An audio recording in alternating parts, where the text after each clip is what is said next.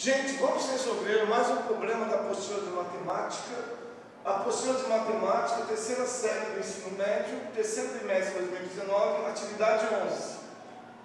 Ah, o problema se refere à área de, uh, ao retângulo. Entre todos os retângulos com perímetro de 24 metros, qual tem a maior área?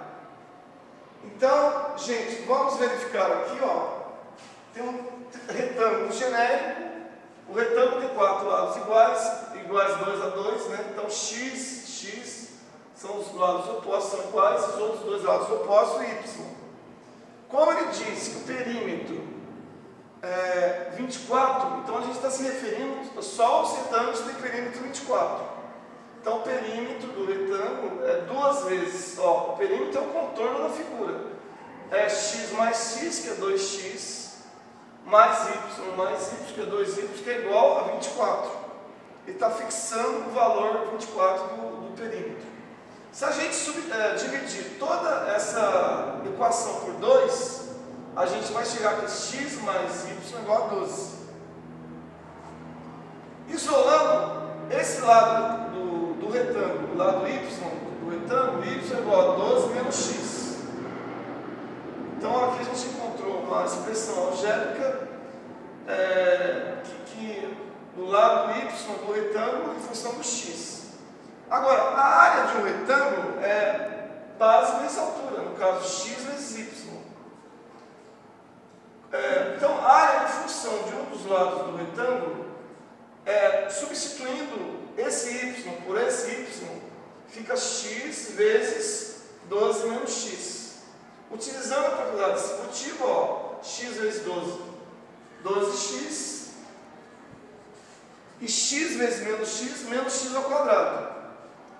Se a gente ordenar aqui essa função, que é uma função quadrática, uma função do segundo grau, colocar em ordem os, os termos, a função a de x, que é de área, é menos x ao quadrado mais 2 de x. Então, é, o a dessa função qual que é? Menos 1, que é o valor que multiplica x ao quadrado. O b é o, o número que está antes do x, que é o 12, e o c, como não tem um termo sem é, um número sozinho aqui, o c é zero. Para a gente verificar a concavidade da, da parábola, porque como é uma função quadrática, é uma parábola, a gente tem um dispositivo interessante, a gente analisa o a. Ó, o a é menor que zero.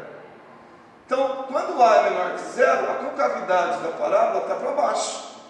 Você vai ver que forma uma carinha que triste, né? Se o A estivesse para cima, seria a concavidade para cima. Então, mas nessa função, a parábola tem a concavidade para baixo, e esse ponto é o vértice da parábola. Representa nessa função a área máxima do retângulo. Quando o retângulo tem perímetro 24. Então, a gente vai analisar então o vértice da parábola, que é o ponto de máximo, que corresponde à maior área do retângulo. Utilizando a fórmula do x desse vértice, o x do vértice é igual a menos b sobre 2a. Substituindo os valores de b e a, a gente vai encontrar que x do vértice é menos 12 sobre menos 2, que é 6. Então, o x aqui da função representa um dos lados do, do retângulo. Voltando para o retângulo, a gente tem um retângulo aqui, ó, um retângulo que no, no caso, como a gente achou o valor do 6 e o perímetro é 24, na realidade esse retângulo é um quadrado. Então o valor do lado é 6, é do x, x é o outro x é 6. Como dá 24, o y só pode ser 6.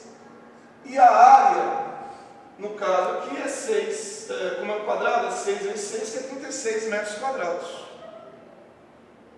Ok?